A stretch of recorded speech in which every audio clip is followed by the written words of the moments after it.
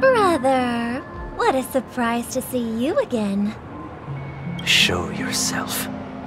Your trick won't work on us. I've heard that a skilled masked fool received an invitation too. That must be you, right? Did you enjoy yourself? Barely. The people here are way too gullible. A little bait is all it takes for them to bite.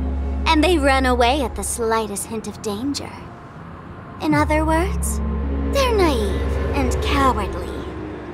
Now that you've had your fill, it'd be wise to leave before it's too late. The music of the Harmony doesn't tolerate discord. What?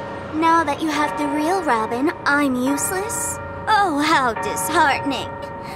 I've done so much for the family. You should be thanking me, because if it weren't for me cleaning up this mess, Penacony would still be in shambles. Don't you think?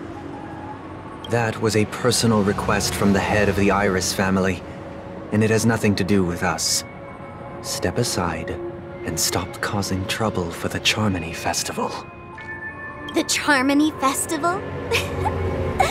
you think you can scare me? You think I have no idea what you're planning?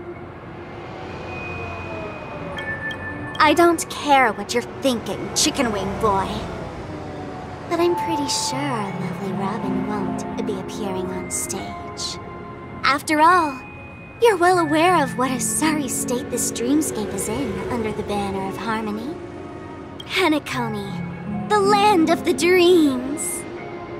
Is this truly the paradise you desire? Stop it.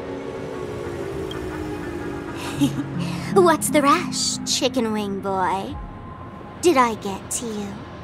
Our paradise is none of your concern, masked fool. Leave now, or the family won't tolerate you anymore. All right, all right. I'll go. But Robin, I suggest you seriously consider this. Do you really believe those living in dreams can escape pain and find true happiness?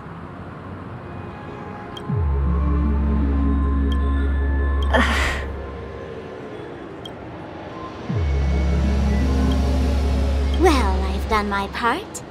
And now I'm simply waiting for the fireworks to begin. Here, the last two gifts for both of you. And don't lose them.